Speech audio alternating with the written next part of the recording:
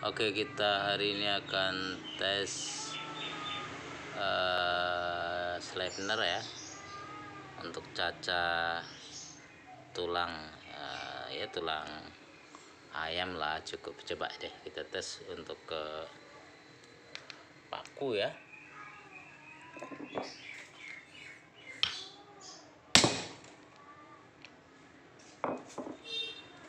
Not. enggak ya meleot coba ke kertas. Oh, masih ya? Oke. Oh enggak apa-apa ya. Ini, ini kayaknya pas kena nih. Oke coba diiris lagi.